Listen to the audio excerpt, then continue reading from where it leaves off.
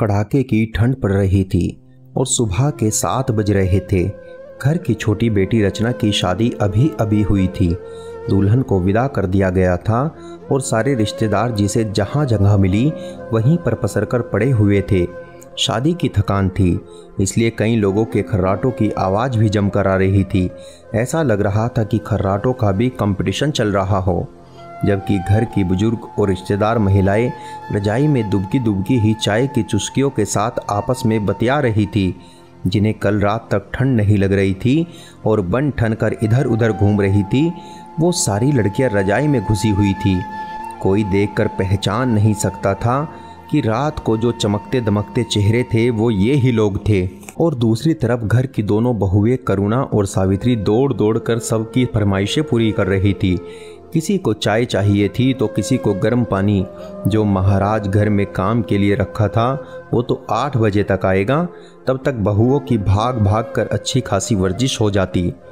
सबको चाय देने के बाद दोनों अभी रसोई में पहुंचकर चाय पीने बैठी ही थी कि पीछे पीछे सासू माँ शिमला जी भी कपकपाती हुई रसोई में आई और बोली, अरे, तुम दोनों कहाँ चाय पीने बैठ गई? अभी तो कितना काम पड़ा है। अम्मा जी, बहुत जोरों की ठंड है। हाथ पैर कपकपा रहे हैं। तो सोचा पहले चाय पी लेते हैं। थोड़ी गर्माहट ही मिलेगी। अरे, तुम दोनों कहाँ गर्माहट के चक्कर में बैठी हो? अभी कुछ रिश्तेदार रवाना होना शुरू कर देंगे। उससे पहले उनके लिए शगुन के लिफाफे और मिठाई के डिब्बे तैयार कर दो। और हाँ याद रखना कोई कमी ना रहे। तीन तरह के डिब्बे तैयार कर लेना। पिछली बार की तरह गलती मत करना। मुझे लोगों की बात सुनने की आदत नहीं। तीन तरह के डिब्बों की बात सुनकर छोटी बहू सावित्री ने हैरान होकर पूछा, तीन तरह के डिब्बे? मतलब तू चुप कर छोटी बहूरिया, कुछ पता तो है नहीं। बड़ी बहू से पूछ लेना। उसने तुम्हारी शादी में भी काम किया था तो उसको अच्छे से पता है। बस लापरवाही ना करे तो। कहकर शिमला जी रसोई से बाहर निकली और जाकर रजाई में दुबक कर बैठ गई। सावित्री ने अपनी जेठानी करुणा की तरफ़ देखा तो वो बोली अभी काम करेंगे ना तो पता चल जाएगा, परेशान क्यों हो रही है? चल, पहले कोठियार में चलते हैं, वहीं तीन तरह के डिब्बे रखे होंगे। करुणा के कहते ही उसके पीछे पीछे सावित्री भी जल्दी, कोठियार में पहुंचकर वहाँ का ताला खोला और अंदर जाकर दरवाज़ा लगा लिया। देखा तो वहाँ एक तरफ़ तीन तरह की साइज़ के कुछ मिठाई के खाली डिब्बे रखे हुए थे। करुणा ने सावित्री से कहा, अरे सावित्री, उधर दरी बिछा दे तब तक मैं लड्डू की ट्रे और मठरी का बर्तन लेकर आती हूँ। जब तक सावित्री ने दरी बिछाई, तब तक करुणा लड्डू और मठरी के बर्तन लेकर आई। सावित्री बड़े उत्साह के साथ करुणा के पास आकर बैठ गई और बोली जी जी मुझे भी बताओ, कैसे क्या करना है? अरे, बताती हूँ बताती हूँ, फ़िक्र मत कर। पहले दो तीन डिब्बे पैक कर दूँ, ताकि तुझे समझ भी आ जाए। सावित्री बड़ी गौर से करुणा को काम करते हुए देखने लगी। देखा तो करुणा ने तीनों साइज़ के एक एक डिब्बे उठाए। सबसे बड़े डिब्बे में दस लड्डू और गिनकर दस मठरी रख दी। उससे छोटे डिब्बे में पाँच लड्डू और पाँच मठरी। वहीं सबसे छोटे डिब्बे में दो लड्डू और गिनती की दो मठरी रख दी। तीनों डिब्बों को तैयार कर देने के बाद करुणा सावित्री से बोली, समझ में आया क्या करना है? हाँ जी जी यह तो समझ में आया कि क्या करना है। पर अभी तक यह समझ में नहीं आया कि ऐसा क्यों करना है। ये डिब्बे तो हलवाई से कहकर भी पैक कराए जा सकते थे। अरे मेरी भोली देवरानी, हलवाई से कराए जा सकते हैं, पर थोड़ा सा पैसा बचाने के चक्कर में अम्मा जी कराती नहीं। हाँ यह बात तो सही है। भला कौन बहू की सहूलियत देखता है? पर एक बात बताओ जीजी, अम्मा जी आपको लापरवाह क्यों कहती हैं? जबकि मैं तो शुरू से देखती आई हूँ आप हर काम बहुत ही तरीके से और समय पर करती हैं। और ये तीन तरह के डिब्बे क्यों? देख, शादी में हर तरह के मेहमान आते हैं, कुछ खास होते हैं और सिर्फ़ कुछ से व्यवहार निभाना होता है। उस हिसाब से ये तीन डिब्बे तैयार किए हैं। जैसे जो घर के खास रिश्तेदार हैं, उन्हें ये बड़ा डिब्बा दिया जाएगा। जो यार दोस्त हैं, उन्हें दूसरे वाला डिब्बा दिया जाएगा। और जो कभी कभार शक्ल दिखाते हैं, ऐसे रिश्तेदार को छोटा डिब्बा दिया जाएगा। ओहो! और हमारे मायके वालों को सावित्री ने प्रश्न भरी निगाह से करुणा की तरफ़ देखा तो करुणा बोली, अभी तूने सुना नहीं अम्मा जी ने क्या कहा? यही कि मैं लापरवाह हूँ। बस यही लापरवाही तो की थी मैंने। हैं जी जी ये क्या बोल रही हो? और ऐसे काहे की लापरवाही हो गई थी तुमसे? सावित्री ने मुँह पर हाथ रखते हुए हैरानी से कहा तो करुणा ने जवाब दिया पता है तेरी शादी के वक्त अम्मा जी ने मेरे मायके वालों को ये छोटा सा डिब्बा मिठाई का देने के लिए कहा था, पर मैंने नहीं दिया। मुझे तो वो मिठाई का डिब्बा देते ही शर्म सी आई, इसलिए मैंने अपनी मर्ज़ी से एक बड़ा डिब्बा मिठाई का दे दिया।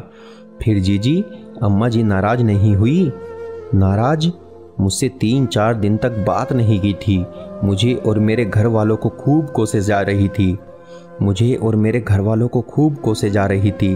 पता नहीं ये ससुराल वाले बहू के मायके से आता हुआ बहुत अच्छा लगता है, पर मिठाई का डिब्बा तक उन्हें देना इन लोगों को बहुत सालता है।